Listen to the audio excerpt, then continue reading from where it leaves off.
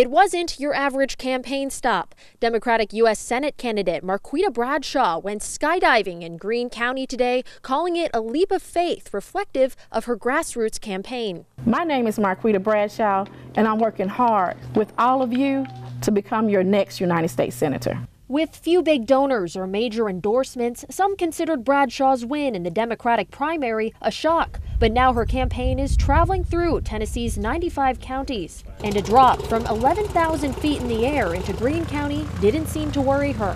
I didn't say my prayers, I'm good. Campaigning as a working class mother from Memphis, she says she's different from establishment politicians. Well, I'm not a rich white man, and so I don't use the same tools that rich white men use. I know people.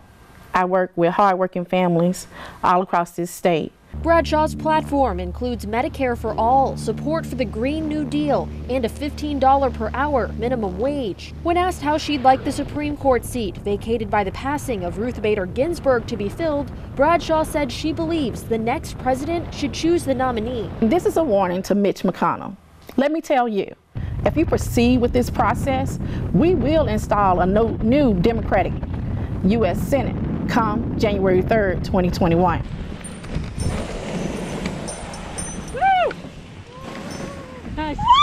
What do you think of that?